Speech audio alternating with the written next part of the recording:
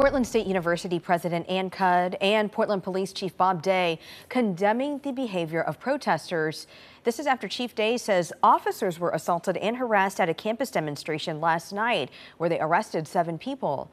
Protesters chained themselves to a building and police say when officers went in to make arrests, protesters spat on one officer and two other officers were punched. Then the chief of campus police had a medical scare and police say demonstrators refused to move out of the way to allow medical assistance to come in. Officials say that police had to use force to move protesters out of the way. The campus police chief, though, is now recovering.